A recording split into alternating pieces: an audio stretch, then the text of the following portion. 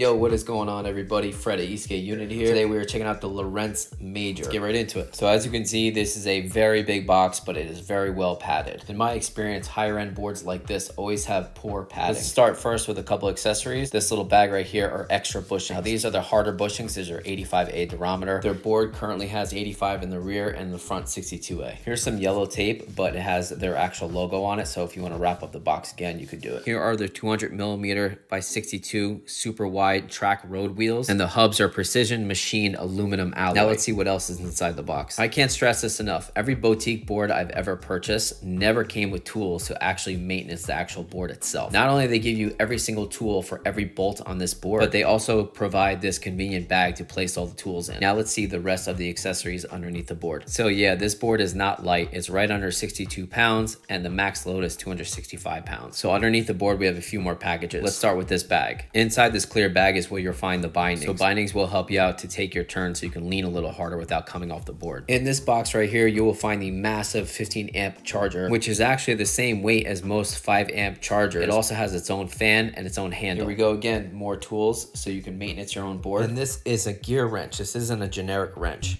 Can you imagine spending about three to four thousand dollars and having to go back out and buy more tools just to work on your current board? In this box, you'll find extra tubes for the knobby tires. Here's their case for the remote. It has their logo on and a list of what contains inside the case. Now, inside the case is extremely padded up. The remote is very well protected. It's got a nice foam padding around it, and it's got the remote USB-C charger. Now, if you notice any scratches on the remote and the board, that's because this is a demo model board with about 200 miles on it. But going back to this case, case, I love this case. I always carry these around any group ride. Inside this box, you will find the smart taillights slash brake lights, the mounts for the lights, and also the charging cable for the lights. So now let's have a closer look at the board and let's go over the specs. This is a 1500 watt hour 14S6P Samsung 50S cells pushing 150 amps with a smart BMS. The deck is made of Canadian maple mixed with three fiberglass layers.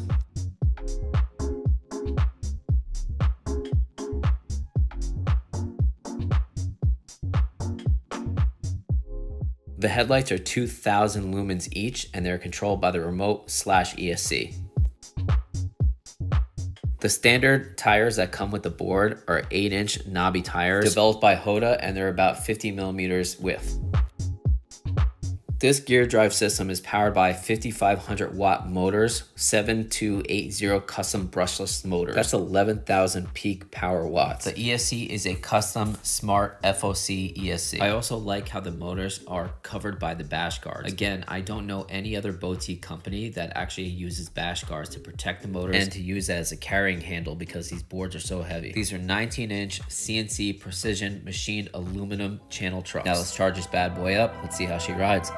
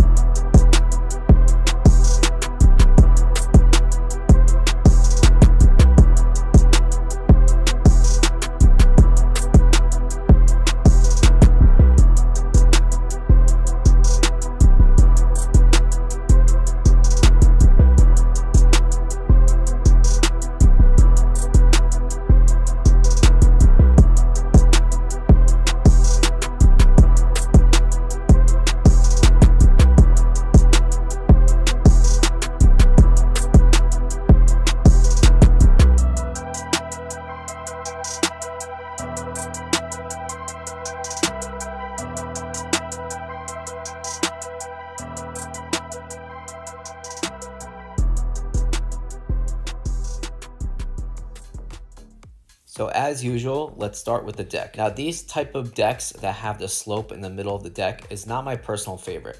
But just because it's not my personal favorite doesn't mean it might not work perfect for you. But I do understand the ergonomics of the actual deck because it allows you to spread your legs for more stability. So if you're a bigger guy and you like speed, this is definitely a good setup. There's also no flex to it for maximum stability. On the middle of the deck, you will find their RGB Stratus light. So once you turn on the remote, the board will indicate that its power is on. So if you yank the throttle, it'll give you a live reading of how much throttle you're actually giving the board.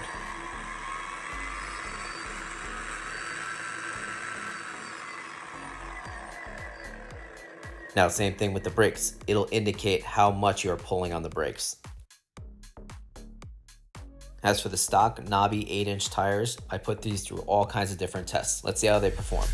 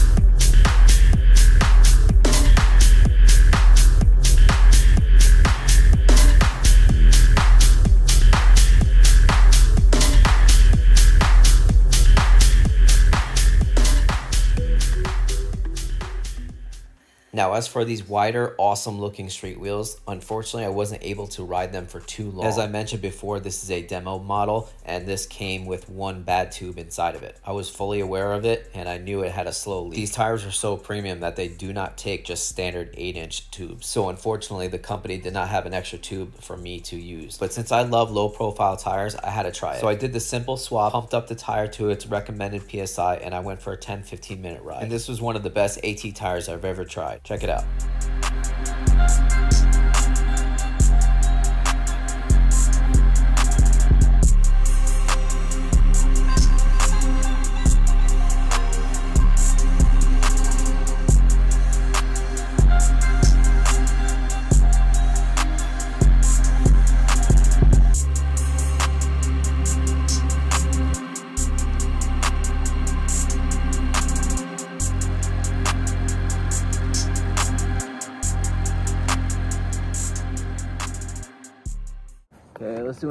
Acceleration test. Hopefully I don't kill myself. All right, one, two, three, go. Wow. One, two, three, go. That's a little too scary for me. Acceleration test, take two. One, two, three, go. One, two, three, go. One, two, three.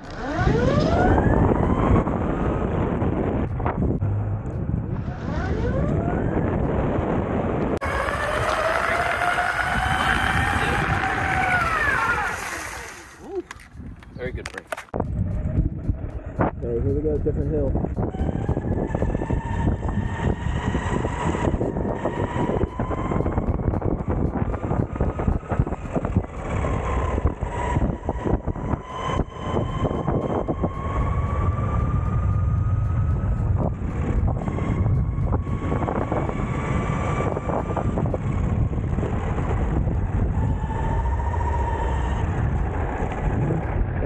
That was in gear two.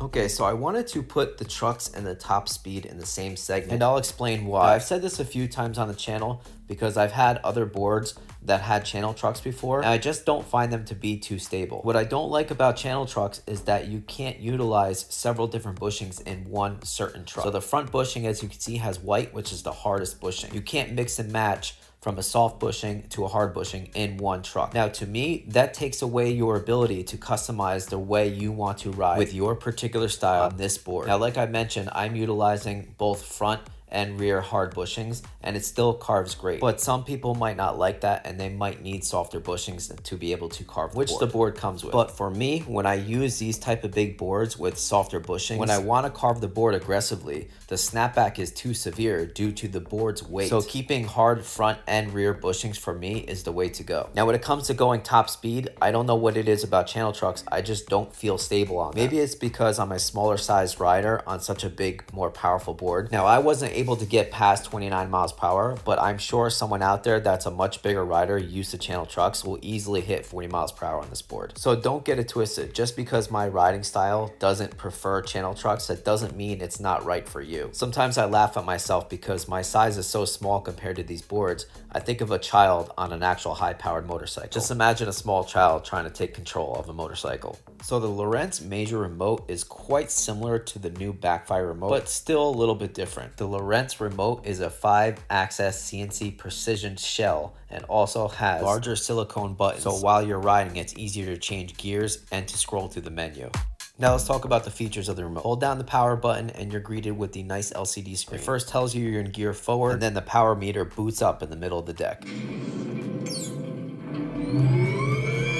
So if you click the power button once, it'll enter into the menu screen. Click the power button again, it'll enter into the remote power menu, which displays all the remote data. Click the top button, that'll go back, scroll down using the rollerball, and let's enter into the board power. I love how it shows the numeric percentage left of the battery, and it also shows all battery data you need. Now let's go back and scroll down to motor and ESC. This displays the ESC temperature and the motor temperature. Then we can go back to customize each mode. Since there's three different gears, you can customize each one. Then we can go back and check out the stats of the board.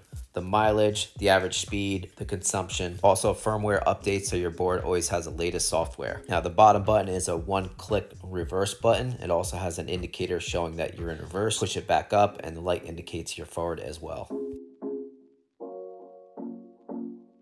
You could also double click the top button to lock it out to prevent an unwanted acceleration. Then double click the top button again to release the lock. Now for the lights. If you hold down the top button, the remote itself will indicate to you that the lights are on. Now the front headlights have a total of 4,000 lumens of power. Now I didn't get a chance to install the taillights that it comes with, but I do have some experience with these same lights. They have a built-in rechargeable battery and they're very intuitive, so when you yank the brake, they illuminate brighter and can even blink. Now both sides of the boards also have this laser ambient lighting, which looks super cool at night. That mixed with the 4,000 total lumens in the front basically is going to look like a small futuristic car coming down the road. Check it out.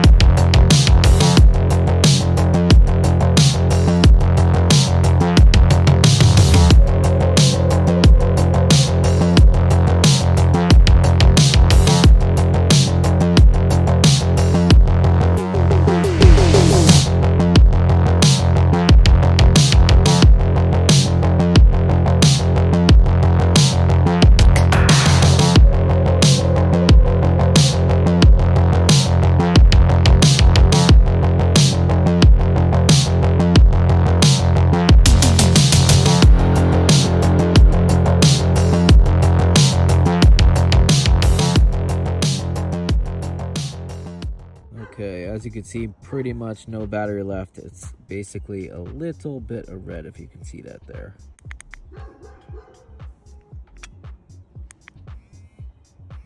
Five percent battery left. Still very good power. 26, 27 miles per hour, right? With 5% left. As for range, I'm a 155 pound rider. And the days it took to do the range tests were about 45 to 55 degrees Fahrenheit. I reached a total of 38.6 miles of range on this board. Now please keep in mind, I did a lot of off-road. I carve a lot and the temperature was not warm whatsoever. Usually when you're riding 45 to 55 degrees Fahrenheit, when you're riding anywhere from 15 to 30 miles per hour or even faster, it's gonna feel much more colder than it actually is. So if you don't do too much off-roading and you're actually living in a much warmer climate, that you'll get much more range. Final thoughts. So if you are a bigger rider that needs maximum amount of range maximum amount of performance. You want good customer service. And most of all, you want a boutique board with a lot of features instead of a remote without a screen, a company that doesn't give you tools to actually even fix a flat tire, then this board is just right for you. I definitely think this is a great substitute for the Kaly NYC customers because Kaly NYC is no longer around. I also did enjoy riding this much more than my Kaly XL40. It definitely has more performance, more range, and a hell of a lot more features. I just feel like when you spend north of $3,000, you shouldn't just be impressed by the board itself you should look inside the box and see what else the board comes with, all the extras you could add on the board, the tools it comes with to help maintain the board and to actually change up things like the tires and rims that you want and all the easy and fun customization you can do inside the remote slash ESC. Feel free to use my discount code for $100 off. Thank you for watching guys. Please comment, like, share, subscribe. Have a good one guys.